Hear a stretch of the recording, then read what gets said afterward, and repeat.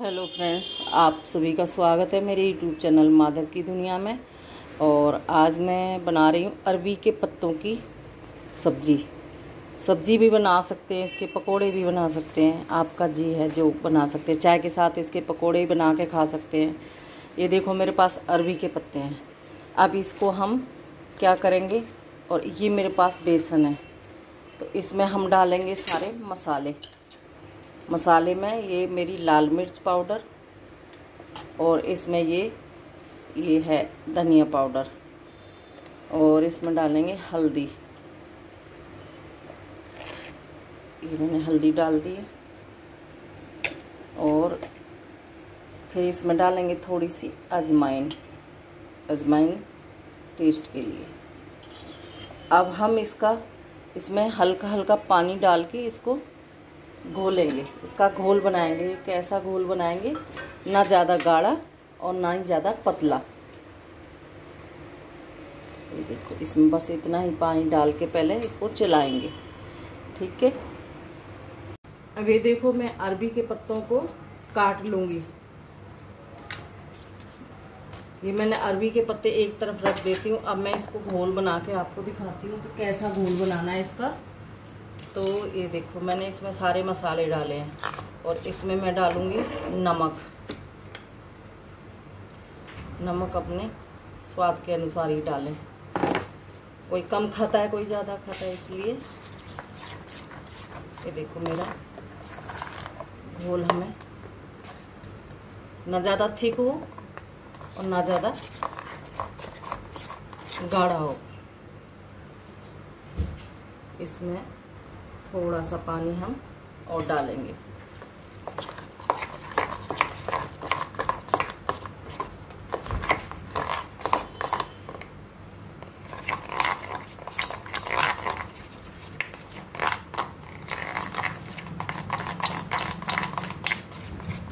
ये देखो मेरा बनके ये पेस्ट तैयार है।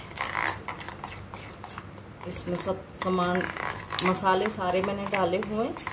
अब इसको हम लगाएँगे अपने। मैं ये पत्ता रखूँगी। पहले तो मैं इसको ये मेरी रसोई का जो सेल्फ है, इसको साफ़ है ये, इसलिए मैं इसके ऊपर ही इसको मैं करके दिखा रही हूँ आपको। ऐसे हमने इनको सब पत्तों के ऊपर जो अगर आपको लगता है इसके ऊपर ये डंडी सी आती है ना, काली सी, इसको काट दो। और उसके बाद फिर हम इसको धीरे बेलन से फ्लैट कर लेंगे।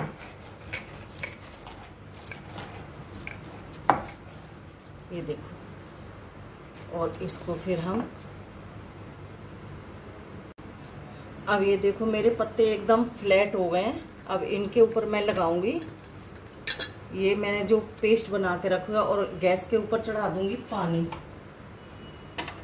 ये मैंने गैस के ऊपर पानी चढ़ा दिया है और जो ये मैंने पेस्ट बनाए हैं, इस पेस्ट को मैं ऐसे ऐसे इसके ऊपर हाथों से लगाऊँगी।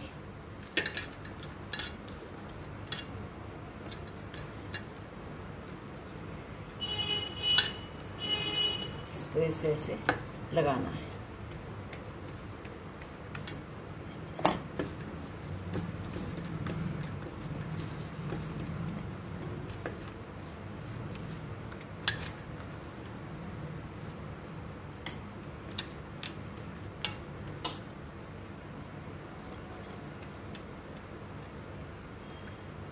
और इसको हम क्या करेंगे अब? अब हम इसको धीरे धीरे ऐसे इसको फोल्ड कर लेंगे।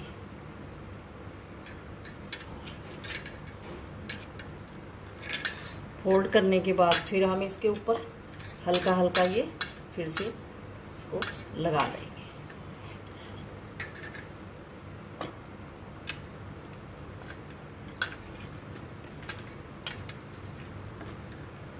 ये मेरा इसके ऊपर ये पेस्ट लग के तैयार है। अब इसको क्या करेंगे हम?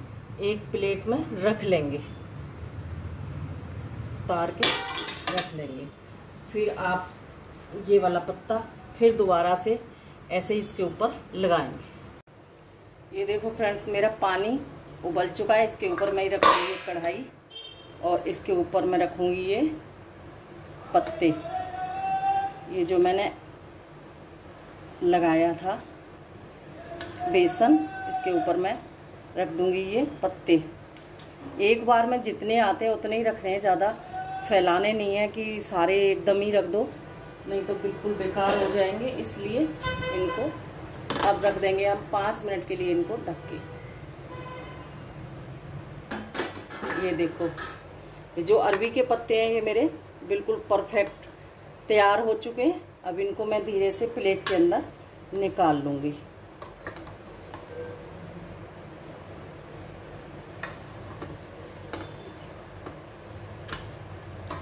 और जो मेरे पत्ते रह गए इनको भी ये मेरे दो पत्ते बचे हैं। अब मैं इनको भी इसमें रख दूँगी। ये देखो फ्रेंड्स, मैंने सारे पीस काट के रख लिए हैं। ये देखो मेरे, ये अरबी के पत्तों की सब्ज़ी बना रही हूँ। ये देखो, ऐसे इसके अंदर से भी बेसन है। अगर आप इसके पकोड़े बना, बनाना चाहते हो तो इसके अंदर क्या करोगे कि जो हमने बेसन पतला करके लगाया है, इसके ऊपर अच्छे से कोट करेंगे इसको, अच्छे से इसके पत्तों को बेसन के अंदर अच्छे से लगाएँगे और उसके बाद फिर हम उसके पकोड़े बनाएँगे। और इसको अच्छे से फिर लगा के, फिर भाप के अंदर रख के और उसको आप तल के खा सकते हो। इनको हम फ्राई करके ऐसे भी खा सकते हैं, तल के भी खा सकते हैं, लेकिन मैंने बेसन सब्ज़ी की तरह बनानी है, मैंने सब्ज़ी बनानी है, इसलिए इसके ऊपर ऐसा बेसन मैंने लगाया है, जो हमारे पत्तों की सब्ज़ी परफेक्ट बने। अब मैं चलो बनाती हूँ। सब्ज़ी में रखती हूँ कढ़ाई। और ये देखो, एक एक लेयर के अंदर हमारा बेसन लगा हुआ है।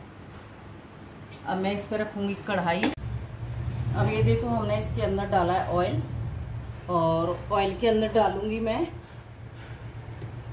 थोड़ा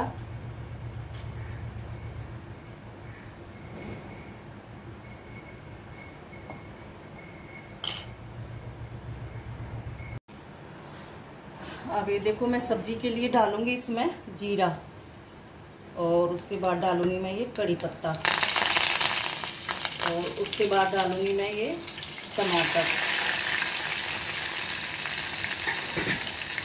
और टमाटरों को भूनने के लिए इसमें मैं डालूँगी थोड़ा सा नमक।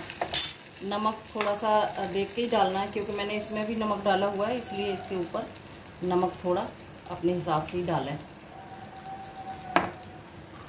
और इसको भूनने के लिए अब इसको अच्छे से भूनेंगे। इसमें आप राई भी डाल सकते हो। मैं राई नहीं डाल रही हूँ, क्योंकि मुझे नहीं अच्छी लगती है राई, इसलिए मैं नहीं डाल रही इसके अंदर। मुझे ऐसे ही अच्छा लगता है।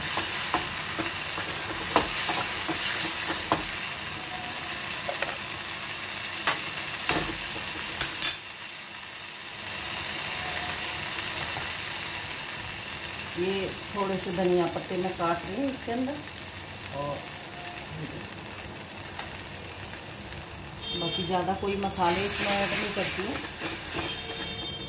और मसाले अपने हिसाब से, क्योंकि मैंने मसाले उसके अंदर भी डाले हुए हैं तो इसके लिए हम डालेंगे इसमें लाल मिर्च पाउडर, थोड़ा हल्दी पाउडर और थोड़ा ये धनिया पाउडर। और इसके अंदर डालेंगे थोड़ी सी क्रश करने के बाद में कसूरी मेथी।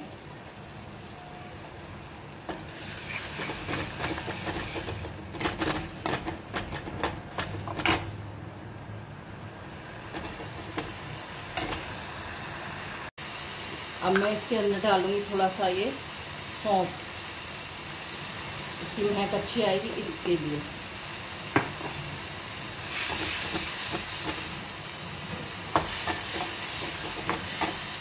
और अब इसके अंदर हम ये डालेंगे जो मैंने ये पत्ते रखे हैं, इसको हम धीरे से इसमें सबको डाल देंगे। और अब इसको हम अच्छे से चलाएँगे।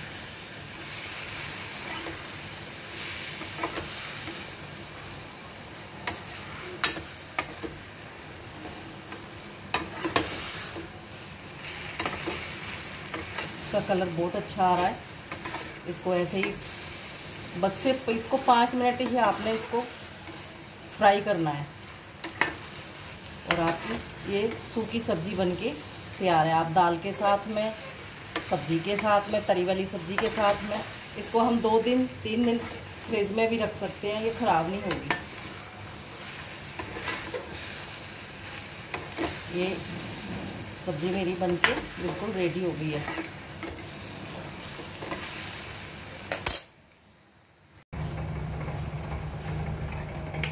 ये देखो मेरी सब्ज़ी बनके तैयार हो गई है। अब मैं इसमें डालूँगी थोड़ा सा ये हमारे पास चाट मसाला है।